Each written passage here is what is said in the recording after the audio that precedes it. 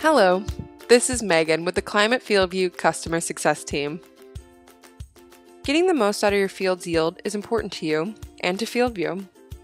Our FieldView seed script tool uses science algorithms to generate pre-populated zones and density recommendations.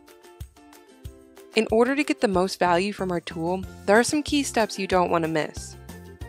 Be sure your boundaries accurately represent your fields SeedScripts is a per acre purchase and uses satellite imagery captured per the boundaries of your field. Please make all boundary edits 48 hours prior to creating your seed scripts. This will allow plenty of time for your field health images to update after editing your boundary. Additionally, ensure you've enrolled your desired seed script fields in Pro through our Climate.com's Buy portal. You'll know the Pro feature has been activated when there's a Pro tag to the right of your field name. In order to execute a FieldView seed script, your field will need one of the following. Two years of yield data, one must be corn, or three years of field health imagery. Additionally, your yield data must total at least 85% of your field's total boundaries. After verifying the crop history on your desired fields, select the Prescriptions tab at the top of your Climate.com screen. Be sure you have selected Planting, Corn, and Advanced Planting Prescription seed scripts can only be created for corn. It's important to have familiarized yourself with your field's previous crop history, as our management zone analysis tool may require you to select what crop was planted.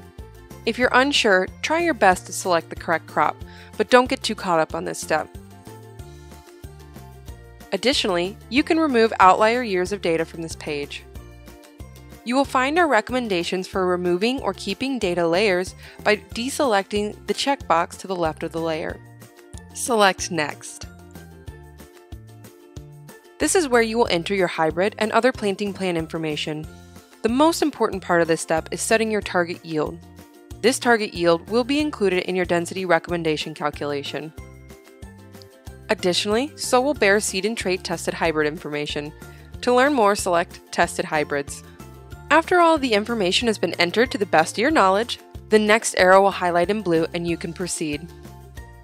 Our script editor page is where you should spend the majority of your time experimenting with different rates and zones. Let's draw our attention to the slider bar in the upper right of the screen. This six zone density recommendation is what our system has generated as the target number of zones and rate to reach a 240 bushel per acre yield. However, the slider bar allows you to move towards a more aggressive or conservative target by moving the bar either right for more aggressive or left for more conservative. Don't worry about losing your original recommendation, as it will save at the bottom of your screen and be notated as recommended. So will your other changes. Here you can see we've moved our slider bar to the right, in turn increasing population density. In this screen, We've left the slider bar at a more aggressive target, but lowered the number of zones. You want to make these target edits here before continuing because after moving to the next page, any retroactive edits will not affect density recommendations and will only be changed if you change them manually. While we strongly believe in our science, we know there's nothing that can replace your local knowledge. Therefore, you can add, remove, or edit zones by using the zone editing tool in the upper right portion of the screen. Also, you can underlay different maps to unlock insights in your data. Here we've underlaid a Sorgo soil test map.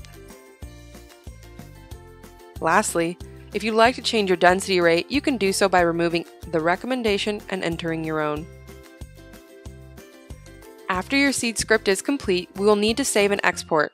Do not select Done without selecting Save or you will lose the script entirely. You'll know it's safe to select Done once you've selected Save and see the green Success banner. After verifying your OEM, monitor, make, and model, you will need to export your seed script in the required file format. Select the export options and click into the field or select multiple if you have them. Click Download, choose Format, and select the file format you wish to display. Your file will be downloaded to your computer's download folder, for more information on importing prescriptions into your OEM display, please review our Knowledge Center or contact support. One last note. You may notice the first script you create for your field and season will be flagged as primary. Primary scripts cannot be deleted as it prevents accidental deletion while executing the script in the field. You can, however, create a new script and set it as the primary, therefore allowing you to delete the previously primary script.